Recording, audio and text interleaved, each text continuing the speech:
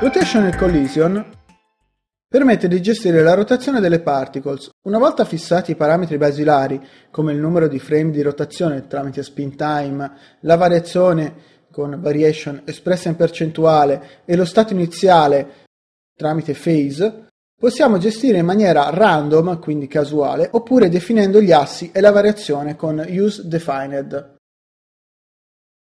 Inoltre possiamo gestire anche le particles in fase di collisione. Con Interparticles Collision, una volta che l'abbiamo abilitato, possiamo gestire l'intervallo in base ai frame, che di default è 2, la percentuale di rimbalzi e la variazione degli stessi, disperdendole nello spazio indipendentemente nella variazione degli assi x, y e z.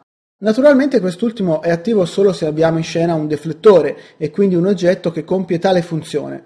Sarà tutto più chiaro nelle prossime lezioni dove vedremo tali argomenti.